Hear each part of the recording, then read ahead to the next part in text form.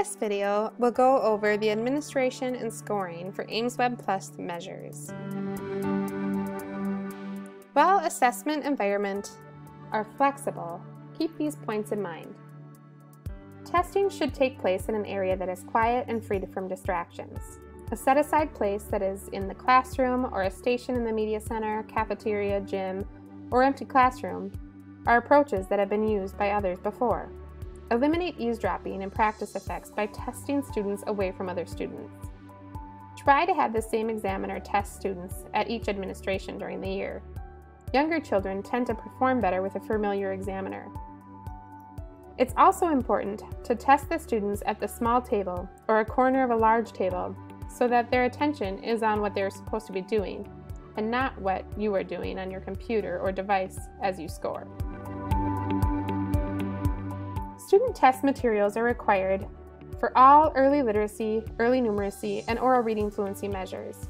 Stimulus materials must be downloaded from the AimsWeb Plus system and printed.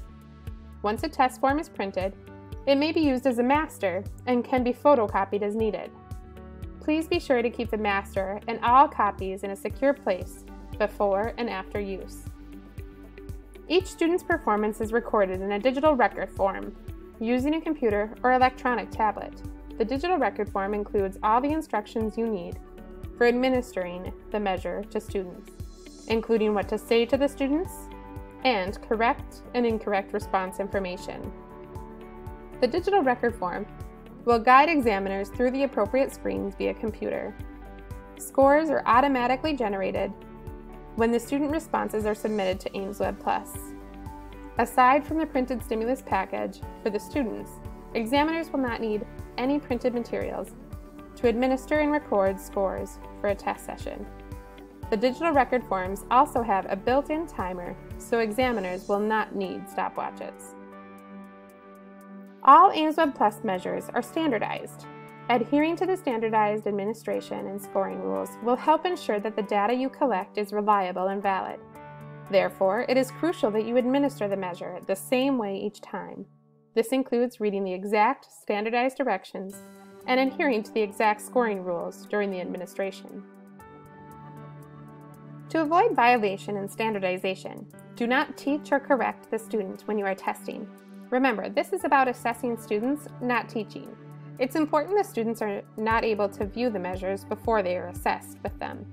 Therefore, the measures should not be used for practice or homework and should not be sent home. To avoid practice effects, try to make sure that the testing environment is far enough away from other students as to eliminate eavesdropping. During the universal screening, no rulers, guides, or other manipulatives are permitted. These types of things were not used during standardization of the measures and thus are not permitted. If a test session is spoiled, for example, the testing is interrupted during the administration of any of the timed fluency measures, examiners may re-administer the same test form to the student. It is suggested that the examiner waits a few days before re-administration